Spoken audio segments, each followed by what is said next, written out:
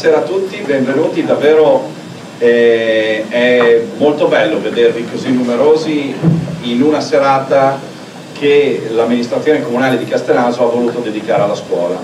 Voi sapete quanto noi ci teniamo,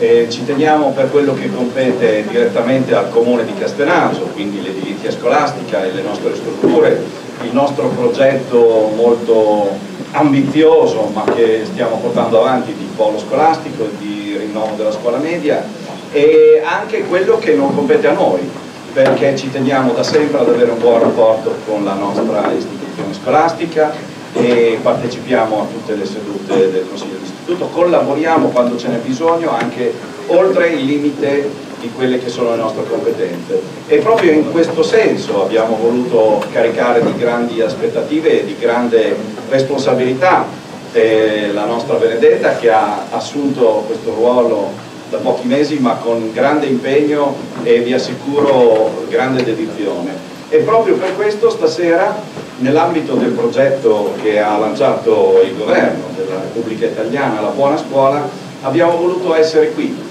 coinvolgere tutti per cercare di capire dove vorremmo andare e anche, se si può, dove possiamo andare, sperando che le due cose collimino il più possibile. E per fare questo naturalmente non lo potevamo fare da soli, lo volevamo fare insieme a chi da così vicino lontano Roma se ne occupa e quindi ringraziamo sia il dottor Galingani che è il responsabile eh, attualmente, quindi ne siamo veramente onorati e per quello che ho potuto vedere sono molto contento perché riuscirà davvero ad aiutare questo nostro paese, questa nostra scuola a migliorare, per cui lo dico pubblicamente che sono molto contento che lui sia è venuto a fare il dirigente seppure ancora a metà del nostro istituto comprensivo e la senatrice Francesca Puglisi che ci spiegherà cos'è questo progetto e ci spiegherà e poi ascolterà quello che, che vorremmo proporre. Quindi non rubo altro tempo a questa serata che data la partecipazione sono sicuro sarà molto produttiva e vi ringrazio davvero di cuore per essere qui perché vuol dire che, che